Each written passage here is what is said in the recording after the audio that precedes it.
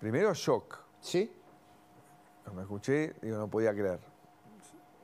Casi instantáneamente, con el repudio fue el alivio, ¿no? que por suerte no, no había pasado de, de un intento.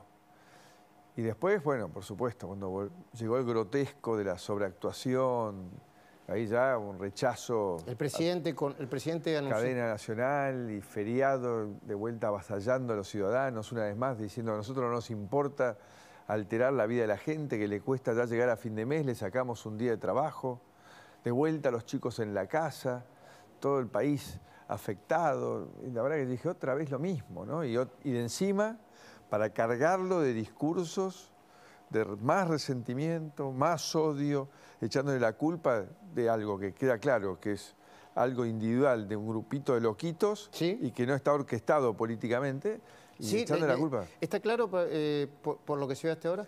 Por lo que yo he visto y he leído, no he leído tanto, pero lo que he leído queda más que evidente. ¿no? No, esto no es el, el atentado que tuvimos con María Eugenia en Mar del Plata apenas al- comenzaba mi gobierno, que nos pudieron haber matado. Las piedras que tiraban esos más de cientos de personas que fueron movilizadas al lugar para agredirnos, o en Traful.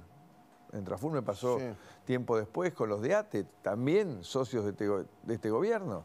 Esos eran movilizaciones políticas para agredir, que bueno, no pasó nada. Y si pasaba,